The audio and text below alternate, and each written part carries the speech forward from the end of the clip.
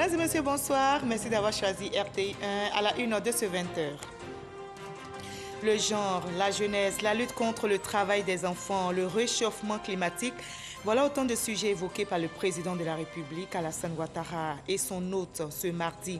Le chef de l'État a reçu en, entretien le président du FIDA, Fonds international de développement agricole, en visite à Abidjan. Le dossier EcoPlus de ce mardi porte sur la nouvelle variété de riz en Côte d'Ivoire, des variétés euh, qui résistent bien à la sécheresse. Et cela reste une opportunité pour améliorer la production de paddy euh, dans ce contexte de changement climatique. Le pays est sur la voie d'atteindre l'autosuffisance en riz pour une sécurité alimentaire.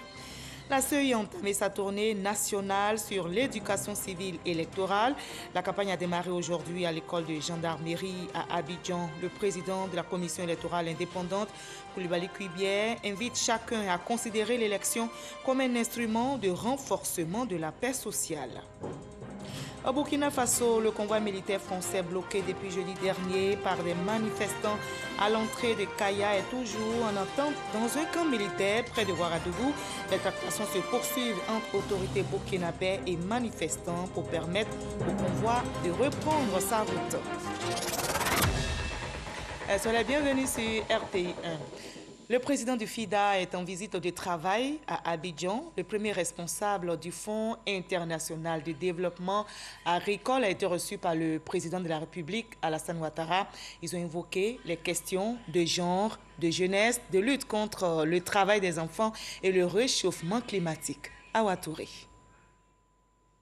Le président du Fonds international de développement agricole, Gilbert Ngbo, est en Côte d'Ivoire pour déterminer les moyens d'investir dans la résilience climatique afin d'atteindre les objectifs d'élimination de la faim et de la pauvreté dans la sous-région. Il a fait au président de la République Alassane Ouattara le point sur l'installation du bureau régional en Côte d'Ivoire et les investissements à réaliser dans le cadre de la lutte contre le changement climatique et le travail des enfants. Nous avons touché à plusieurs points. D'abord, il s'était agi de l'installation du, bureau régional euh, du, FIDA ici euh, à, Abidjan, où nous allons couvrir toute euh, l'Afrique de l'Ouest et l'Afrique du Centre. Et donc, le côté logistique et opérationnel. Et sincèrement, le gouvernement, depuis plusieurs mois, tout fait pour justement faciliter cette, euh, cette installation. Et nous avons donc rendu compte euh, au chef de l'État de ce que nous avons vu sur le terrain. Et personnellement, ça fait quatre ans, je n'ai pas mis pied euh, sur le sol ivoirien. Et donc, c'est quand même très impressionnant de voir non seulement Abidjan, mais aussi à l'intérieur. Lorsqu'on s'en va à l'intérieur, on sent et, les efforts que déploient les, autorités et le peuple, et le peuple euh, ivoirien. Nous avons aussi touché la question des investissements que le FIDA fait et que nous projetons toujours de faire euh, dans le cadre du cycle 2022-2024. Euh, le dernier point aussi, c'est l'investissement en matière de changement climatique lié justement à l'agriculture, la question de l'adaptation, comme vous savez, qui est une question fondamentale pour le monde, pour le monde rural. Et le FIDA est très très très impliqué dans la question de l'adaptation et aussi du, trading du, du, carbone et là-dessus sur lesquels il y a déjà eu euh, une initiative euh, au niveau du gouvernement, donc euh, le, FIDA est aussi actif là-dessus. Créé en décembre 1977, le Fonds international de développement agricole est une institution spécialisée des Nations Unies qui s'est donnée pour mission de combattre dans les pays en développement la faim, la malnutrition et la pauvreté et séjour fructueux pour le président du FIDA à Abidjan. Le patron du Fonds international de développement agricole, arrivé dans la capitale économique ivoirienne dimanche dernier, a multiplié les activités, entre autres signature de l'accord de siège régional du FIDA dans notre pays. Le FIDA et l'État ivoirien, c'est une coopération qui date de 1984 et plusieurs projets ont été réalisés, nous rapporte Noël Nagnon. La signature de l'accord de siège du bureau régional du Fonds international de développement agricole, FIDA, en Côte d'Ivoire. Un acte de portée stratégique pour le fonctionnement du FIDA en Côte d'Ivoire et partout en Afrique de l'Ouest et du Centre. La célérité de son obtention est saluée à sa juste valeur par le président. Je suis vraiment soulagé de cet accord euh, de siège que nous venons de signer. Et en un temps record, le, ministère des Affaires étrangères, le ministère de, la Justice, euh, sous la houlette euh, de, notre gouverneur, qui est le ministre, d'État de, l'Agriculture, et tous, tous les ministères impliqués se sont mobilisés pour permettre justement au FIDA et à la Côte d'Ivoire de signer euh, rapidement euh, cet, accord de siège. Donc pour moi, c'était une partie, une considération essentielle. Toucher du doigt les réalités des paysans producteurs de cacao, une des composantes de la feuille de route de Gilbert Ngbo en Côte d'Ivoire. Dans cette optique, le président du FIDA et le ministre d'État, ministre de l'Agriculture et du Développement rural et leurs délégations respectives se sont rendus à Amanikro, à une dizaine de kilomètres de Divo, dans le champ de Kwasi Adamo Frank Anderson. Superficie 1 hectare et demi. L'âge de la plantation 21 ans. Après les place aux explications du processus d'obtention des fèves, bien séchées et bien fermentées. Un moment fortement apprécié pour ses enseignements. Je repars, je repars de, avec un sens de responsabilité où je crois que, vu euh, l'aspect positif de cette euh, visite, la responsabilité d'en faire plus. Ce sera peut-être de porter à échelle. Outre les réalités du monde des producteurs, Gilbert Mbo a eu une séance de travail à quatre membres du gouvernement. Une rencontre bilatérale pour évaluer le chemin parcouru et décliner les perspectives. Il s'agit des ministres de l'économie et des finances, de l'agriculture et du développement rural, de la production animale et des ressources halieutiques, enfin du ministre de l'Environnement. Le FIDA et la Côte d'Ivoire, le mariage dure depuis 1984. Il a accouché de 11 projets, 9 sont réalisés et 2 en cours de réalisation pour un montant de 240 milliards de francs CFA. Pour le prochain projet, Gilbert Mbo indique que l'enveloppe va connaître une hausse de plus de 20% par rapport au passé. Point final du séjour du président, la visite des locaux a aménagé pour loger le siège. Durée des travaux, 12 mois. Autre bonne nouvelle pour notre pays, toujours dans le domaine agricole, on l'évoque dans le dossier EcoPlus. Il s'agit de quatre nouvelles variétés de riz qui résistent très bien à la sécheresse. Ces variétés ont été créées et sélectionnées par le Centre du riz pour l'Afrique, Africa Rice et le CNRA. Belle opportunité donc pour améliorer la production de paddy alors que le monde fait face au changement climatique. Mais comment ces nouvelles variétés pourraient-elles aider notre pays, la Côte d'Ivoire, à atteindre l'autosuffisance en riz? Et assurer la sécurité alimentaire. Élément de réponse dans le dossier Eco Plus. Signé Jean-Luc Mambo que je vous invite à suivre.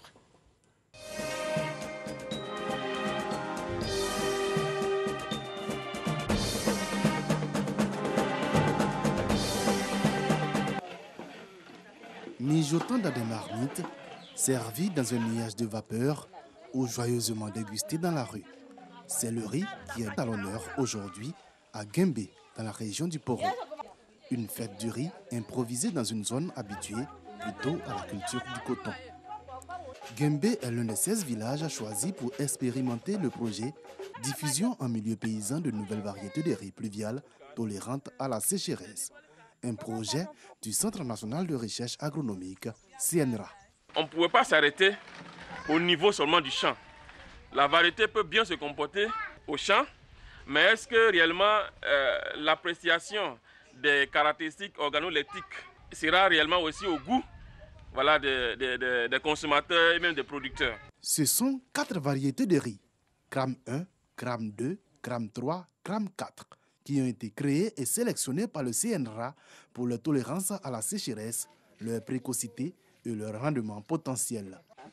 Dans les 16 villages où le projet est exécuté, ce sont les paysans qui en parlent le mieux. Quand je, viens au champ et je regarde la production, je vois que la, euh, la production des deux variétés donne plus que la, variété locale. Et les deux variétés sont moins attaquées par les insectes. Dans le département de Korogo, les rendements moyens des quatre nouvelles variétés ont été compris entre 2,2 et 2,8 tonnes à l'hectare, alors que celui de la variété locale la plus cultivée a été de 1,5 tonnes à l'hectare. Les variétés locales que les paysans cultivent ici ne sont plus adaptées à ce changement climatique-là. et il y a toujours des problèmes de production. Nous sommes venus avec ces variétés-là pour leur permettre de pouvoir continuer à produire du riz pluvial, voilà, qui va leur permettre de pouvoir euh, toujours avoir de la nourriture. La riziculture pluviale en Côte d'Ivoire occupe 45% de superficie emblavée et représente 23% de la production. La diffusion de ces quatre variétés dans les grandes zones de production de riz pluvial constitue une opportunité pour améliorer la production de paddy dans un contexte de changement climatique. Nous avons eu à former les producteurs sur l'itinéraire technique du riz. Et après, nous avons fait la récolte ensemble. Nous avons évalué les productions. Pour permettre aux riziculteurs de cultiver ces variétés dans leurs champs, 4 tonnes de semences ont été produites et distribuées en deux phases à 320 bénéficiaires directs de ce projet. D'abord, avant d'utiliser la semence, il faut s'assurer que la semence est de bonne qualité. Certains bénéficiaires ont déjà distribué une partie de leur récolte à des riziculteurs de leur village et des villages voisins. Une stratégie qui permettra d'ici quelques années de couvrir les périmètres rizicoles de tous les départements du projet et d'améliorer le rendement de ces zones. On est vraiment très fiers et on est pressés même, même si on nous pouvait faire produire un hectare cette année chacun, pour que le riz arrive très vite. Actuellement, même, il y a des camarades qui ont vu, à vue d'elles-mêmes, commencent à m'appeler. Ce projet a été réalisé sur 24 mois grâce à un fonds de 70 millions de francs CFA du Fonds compétitif pour l'innovation agricole durable, FCIAD, mis en place dans le cadre de la deuxième phase du contrat de désendettement et de développement et de 30 millions de francs CFA du CNRA. Après l'étape de la production, il est question d'apprécier le goût de cette nouvelle variété des riz, une sorte d'examen de passage dont l'un des centres se trouve être la sous-préfecture de Gembi. J'ai choisi trois qui m'ont plu et il y a une variété que je pourrais dire j'ai rejetée. Comment s'est opéré le choix? Lorsque vous consommez le riz, le riz doit avoir un parfum.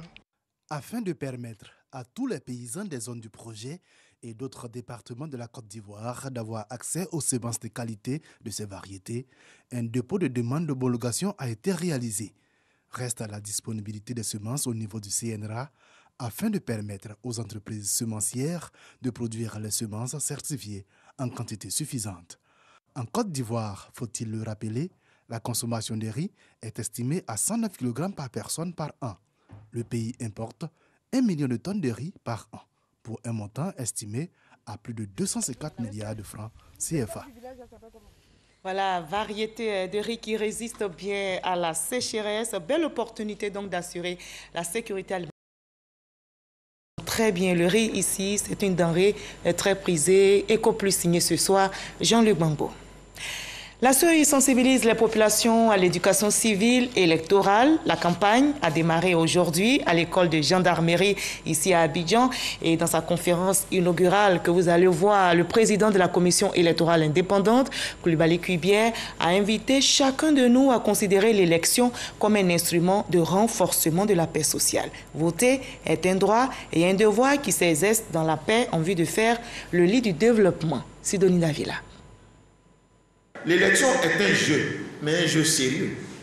Voilà pourquoi il est demandé aux partis politiques de faire preuve de beaucoup de sagesse. Ceux qui sont porteurs de l'espoir du peuple, ceux qui sont porteurs des solutions aux défis de la population, ce doivent être des gens qui sont pénétrés des règles électorales.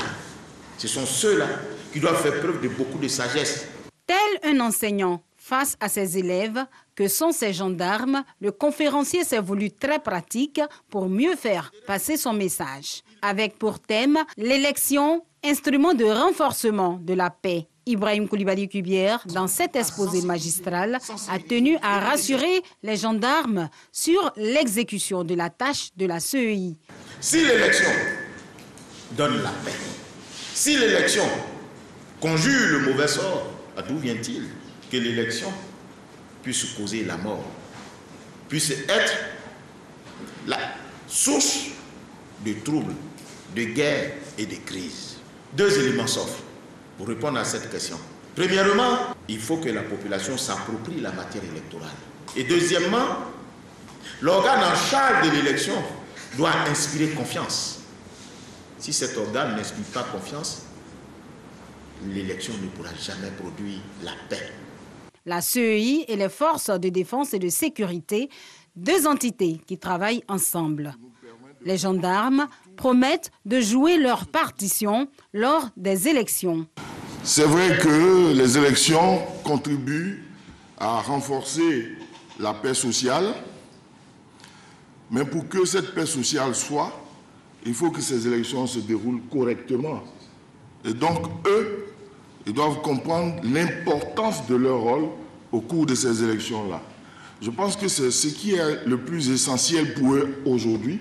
La campagne d'éducation civique électorale qui a eu lieu à la gendarmerie ce mardi est la première étape d'un vaste programme de sensibilisation. La CEI compte aller à la rencontre des populations et ce, dans neuf régions. Le défi pour la commission électorale indépendante est de permettre aux populations de comprendre les règles du jeu et de se les approprier. L'enjeu est de taille, la paix. Et la paix est un trésor inestimable que nous devons tous chérir. Le cinquième recensement général de la population et de l'habitat se poursuit. Il a démarré le 8 novembre dernier. Mais comment se déroule juste l'opération sur le terrain? Dans quelles conditions travaillent les agents recenseurs? Comment sont-ils reçus par les ménages? Eh bien, pour se faire une idée, le directeur de l'INS, l'Institut national de la statistique, a investi le terrain. Il appelle les ménages à bien accueillir tous les agents recenseurs. Patricia Mouetia. Pas de répit pour les agents recenseurs depuis le démarrage du recensement général de la population et de l'habitat. Ce dimanche 13h, Jean Kofi, agent recenseur, a rendez-vous avec un ménage aux deux plateaux dans la commune de Cocody. Il y est pour la collecte d'informations. Il y a de cela une semaine que j'étais là pour la numérotation et je lui avais dit que j'allais repasser. Et ça a coïncidé qu'aujourd'hui, je suis dans le foyer de maman Akou. Contrairement à Jean Kofi, depuis ce matin, Paul rencontre des difficultés sur le terrain. Les portes de certains ménages lui sont fermées. Cette situation, il la vit depuis deux semaines. On a constaté ici de suite, on vient, la dame tous les jours, elle nous dit qu'elle est couchée, qu'elle ne peut, pas, peut pas sortir. On vient, on sort, on va dans des coins où on nous chasse. Il y a un monsieur même qui a eu à nous dire que lui n'est pas intéressé. Et quand on a commencé l'interview, arrivé sur chose à son ethnie, il dit non, c'est pas important, qu'il n'est pas intéressé. Bon, on a arrêté comme ça. Depuis là, bon, on est ici, on ne fait que défiler ici, on ne peut pas avancer, le boulot, ça tape. On a tapé pratiquement deux semaines. Disons aujourd'hui, on a recensé seulement 50 personnes.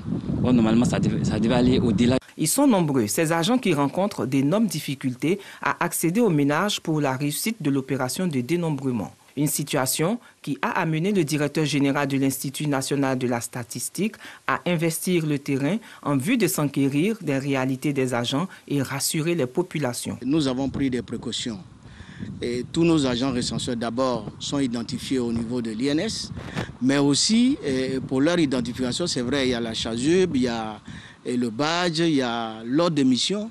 Et puis, il y a des lettres d'émission qui sont signées par les autorités. Je pense que c'est des éléments importants. C'est très important à le relever parce qu'il y a certaines personnes qui refusent toujours d'ouvrir leurs portes. Donc, nous les invitons à ouvrir leurs portes pour permettre à nos agents de pouvoir faire le dénombrement correctement. Cela est très important pour le développement de la Côte d'Ivoire. Le cinquième recensement général de la population et de l'habitat a démarré le 8 novembre dernier et prendra fin le 28 novembre prochain. La maire d'Abobo, Kandia Kamara et le conseil municipal ont tenu euh, la troisième réunion de l'année. Le programme triennal estimé à plus de 4 milliards de francs CFA et le budget primitif 2022 ont été adoptés. Une priorité est accordée à l'autonomisation des jeunes et des femmes aux activités socioculturelles. Théodore Zouzou, Didier Nguessan nous explique. Bobo, une commune assainie, dotée d'infrastructures modernes et à fière allure, est la vision de son conseil municipal à travers le concept Abobo Ezo. Libération des emprises, des attentes principales et des actions de soutien aux démunis. En tant que religieux, euh, euh, euh, nous demandons à nos autorités de pouvoir investir, faire le social, créer des emplois. Les communautés sont celles qui sont tous les jours impactés par tous les projets euh, euh, de développement dans la commune.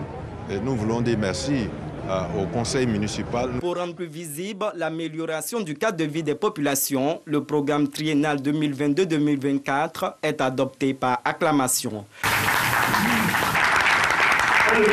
d'une valeur de 4 992 millions de francs CFA. Il prend en compte le fonctionnement et les investissements. Le budget primitif 2022 est également adopté. Il s'équilibre en recettes et en dépenses à hauteur de 3 800 millions de francs CFA, avec 674 millions consacrés à l'investissement dans le social, l'éducation, la santé et le financement des projets. Ces différentes opérations qui, si elles sont menées à terme, apporteront véritablement un changement dans la vie des Abogolais et des Abogolaises. Et je voudrais encore une fois appeler l'ensemble des habitants d'Abobo à soutenir toutes les actions menées par le conseil municipal.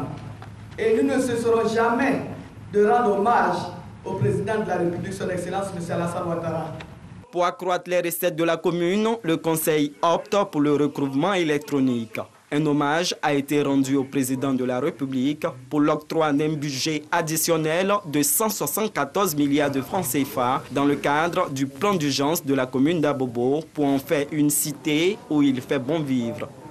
Et le développement est aussi en marche dans la région de Beke. La phase 2 du projet d'infrastructure pour le développement urbain et la compétitivité des agglomérations secondaires est en cours à Boaké. Un milliard et demi de francs CFA sont disponibles pour la subvention des PME de la région de Beke. Le projet vient d'être présenté aux populations ainsi place à Boaké. C'est un financement de la Banque mondiale. Les ministres Mamadou Touré et Amadou Koulibaly euh, rencontrent les jeunes de la région du Poro à Korogo. Les échanges ont porté sur les questions d'emploi, d'autonomisation et de réalisation sociale. Les jeunes ont été éclairés par les deux ministres sur la politique du gouvernement relative à l'insertion socio-professionnelle des jeunes. Eugène Atoubi. Le rendez-vous avec les jeunes des ministres Mamadou Touré de la promotion de la jeunesse, de l'emploi des jeunes et du service civique et Amadou Koulibaly de la communication et des médias après l'allure d'un exposé sur la politique du gouvernement en faveur des jeunes de Côte d'Ivoire et la contribution de cette frange de la population au développement socio-économique de la Côte d'Ivoire. La rencontre, un cadre d'échange ouvert sans faux fuyant sur les préoccupations et besoins des jeunes de cette région pour les uns, l'insertion professionnelle et pour les autres, l'autonomisation. En perspective, leur réalisation sociale. On fait un peu de tout, maraîcher, de l'élevage, le maïs. Une fois qu'on met l'activité en place et que les choses avancent un peu mieux, avec les ressources justificatives, la deuxième Nous prions Dieu qu'effectivement ces gens de rencontres se, fassent de façon régulière, de, de pouvoir permettre à la jeunesse d'être assez responsable. Ceux-là même qui sont au devant de cette jeunesse sont à l'écoute, sont disponibles à nous encadrer. La jeunesse de la région du Poro, dans toutes ses composantes, a été mise devant ses responsabilités, celle d'aller à l'information et saisir les opportunités que lui offre le gouvernement à travers tous les projets initiés et exécutés au bénéfice des jeunes de Côte d'Ivoire. L'exemple d'agir pour les jeunes, projet grâce auquel ils sont nombreux aujourd'hui à être insérés dans le tissu socio-économique. Autre responsabilité à laquelle la jeunesse a été aussi appelée, son engagement civique en ce qu'elle constitue l'avenir, la relève d'une Côte d'Ivoire qui promeut l'Ivoirien nouveau. Les ministres Amadou Touré et Amadou Koulibaly, eux-mêmes issus de la frange jeune de la population, invitent les jeunes de Côte d'Ivoire à croire en l'engagement du président de la République. L'État est là. L'État est prêt à les accompagner, mais il faut qu'eux aussi, ils fassent leur part en saisissant toutes les opportunités que l'État met à leur disposition. Il y a une bonne dynamique actuelle et le cap sera maintenu en 2022. Nous continuerons à nous battre pour que les jeunes de comme l'ensemble des jeunes de la Côte d'Ivoire, puissent continuer à bénéficier donc, des, actions du gouvernement et du chef de l'État la Mamadou Touré a annoncé d'importants projets dont un fonds spécial de 2 milliards de francs CFA dédié aux jeunes des régions du Bunkani, du Kologo, de la Bagoué, du Poro et du Folon. Voilà, le gouvernement priorise euh, l'emploi, mais aussi la formation des jeunes. L'Université de l'État d'Alabama aux États-Unis et l'Université internationale Clairefontaine d'Abidjan sont désormais partenaires. Ces temples du savoir ont formalisé cette coopération par une signature d'accord cadre récemment euh, dans l'État de l'Alabama aux États-Unis. Ce partenariat va donner lieu à des échanges de programmes et d'expériences entre les deux universités. Il est même prévu la construction ici en Côte d'Ivoire par l'Université de l'État de l'Alabama d'un campus satellitaire. C'est une première. Mamadou Traoré. C'est un énième partenariat entre des universités ivoiriennes et américaines.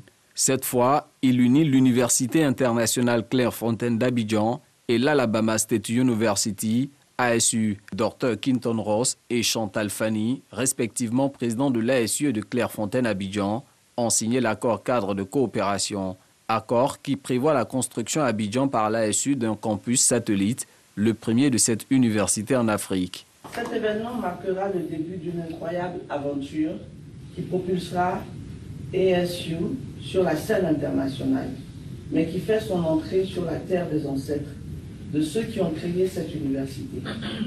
Oui, ASU revient à la mère patrie en foulant les pieds sur la terre et son choix s'est porté sur la Côte d'Ivoire nous en prenons toute la symbolique de cet acte d'espoir. Cet accord cadre entre ces deux universités vient aussi renforcer l'état des relations entre la Côte d'Ivoire et les États-Unis. C'est pourquoi il bénéficie du soutien du gouvernement ivoirien représenté à cette cérémonie par le ministre des Sports, Paulin Danho. La Côte d'Ivoire, sous le leadership du président Alassane Ouattara, avance, se consolide, se construit. Mais nous savons tous qu'il n'y a de richesse que d'or. Donc nous avons besoin de former les jeunes générations de demain pour qu'ils soient compétents, pour relever les défis qui nous attendent. Et ils sont nombreux. Fondée en 1867, l'Université de l'État d'Alabama va ainsi partager son expérience avec l'Université internationale Clairefontaine d'Abidjan, qui a ouvert ses portes en 2019. Voilà un reportage réalisé pour vous par Mama Traoré. La lutte s'intensifie également contre la pandémie de Covid-19 dans notre pays.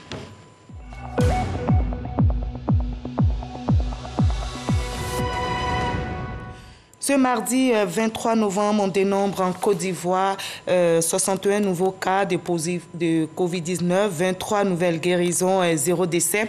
À la date du 23 novembre 2021, la Côte d'Ivoire, notre pays, enregistre 61 652 cas confirmés, 60 597 personnes guéries et 703 décès au total.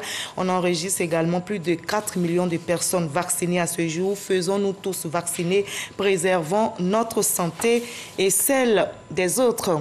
La campagne de vaccination contre la pandémie de Covid-19 se poursuit dans notre pays. La Côte d'Ivoire vient de réceptionner à nouveau 374 450 doses de vaccin Johnson Johnson et c'est un don du gouvernement américain pour soutenir l'État ivoirien dans la lutte contre le coronavirus. On va parler de paix et de développement. Les filles et fils des départements de Danané et Zouangyuan étaient réunis ce week-end au stade municipal de Danané pour une cérémonie d'hommage au président Alassane Ouattara pour toutes ses actions de développement en leur faveur. Le compte rendu de notre correspondante Eve. Danané, stade municipal. Les populations des départements de Danané et Zonye, réunies ce jour sous la multitude des bâches, rendent hommage au président de la République sous l'impulsion de Maï Clarisse, secrétaire d'État chargé de la protection sociale et des cadres élus de ces deux départements. Toute la population de, de Danané, de Zonye, de Benouin, de Maple, euh, que nous appelons affectueusement le Sud, euh, est sortie massivement pour manifester leur gratitude au président de la République, qui ne fait pas de discrimination au niveau du développement dans notre pays. Pour lui, toutes les régions se valent. Nous avons des raisons de croire en notre ado. Ado le bravetier, ado solution, ado le bâtisseur, ado, ado, ado le meilleur. Le président de la République euh, a véritablement œuvré pour le développement de notre région et également pour la promotion des cadres. nous en sommes très fiers et satisfaits. Le bitumage, les constructions d'hôpitaux, d'écoles, l'électrification de nos villages, c'était pour nous une façon de lui dire merci pour tout ce qu'il fait dans la vie. Il n'y a rien de plus beau que la reconnaissance. Le président a valorisé le capital humain par la nomination et la promotion des fils et filles du Tonkbi. Grâce au chef de l'État, Danane et Zoonien présentent un meilleur visage au niveau du réseau routier avec l'axe Danane frontière Guinée achevé, l'axe Zoonien Benwen tout le plus en cours de réalisation et l'axe Man Danane Zoonien en pleine rénovation. Sous la gouvernance du président Alassane Ouattara, le taux de l'électrification rurale est de plus en plus élevé et les réalisations dans les secteurs de la santé, l'éducation, l'hydraulique, l'autonomisation des jeunes et des femmes font aussi partie de ces actifs. Adama Bitogo a signifié que le président Alassane Ouattara mérite amplement ce vibrant hommage. Toute la Côte d'Ivoire est en chantier. Il a une seule préoccupation. Rassembler les Ivoiriens. Rassembler les Ivoiriens. Il a une seule préoccupation développer la pour le bonheur de ses parents. Il a également rassuré les populations que toutes les promesses faites par le président Alassane Ouattara seront tenues. Outre l'hommage à Alassane Ouattara, un autre hommage a été rendu à la jeunesse de Danandé qui a brillamment remporté le premier prix de l'émission culturelle de la RTI Barétoscope édition 2021. Ce prix, constitué d'une ambulance médicalisée offerte par le Premier ministre Patrick Hachi, a été remise à l'hôpital général de Danané par le ministre Diomandé Vagondo. La Côte d'Ivoire vient de perdre l'un de ses illustres fils. Il était ancien directeur général de la RTI. Il a tiré sa révérence. Ousmane Si Savané n'est plus homme de communication. Il a été par ailleurs directeur général de Ivoire Média. Ousmane Si Savané a été aussi maire de la commune d'Odéné. Au Burkina Faso, le convoi militaire français bloqué depuis jeudi dernier par des manifestants à l'entrée de Kaya est toujours en attente dans un camp militaire à quelques kilomètres de Ouagadougou. Les tractations se poursuivent entre autorités burkinabè et manifestants pour permettre au convoi de reprendre sa route. Euh, ce convoi doit d'abord rejoindre Niamey avant de se rendre à Gao, au Mali, pour ravitailler l'armée française et ses partenaires. Les militaires français attendent donc que les tractations menées par les autorités burkinabè avec les manifestants aboutissent. Fin de ce 20h, vous l'avez bien compris, mais ne décrochez surtout pas. Soyez à votre rendez-vous. RTI 1 reçoit. Hamza Diaby recevra ce soir le ministre de la Jeunesse, de l'Insertion professionnelle et du Service civique, Mamadou Touré. Une émission de 90 minutes au cours de laquelle ils aborderont des thématiques importantes, notamment la promotion de la jeunesse. Vous allez savoir comment ça marche, l'insertion professionnelle, mythe ou réalité et la jeunesse citoyenne, quels enjeux pour notre pays, la Côte d'Ivoire. C'est tout à l'heure à 20h50. C'est à suivre absolument. Passez une très belle soirée. C'était.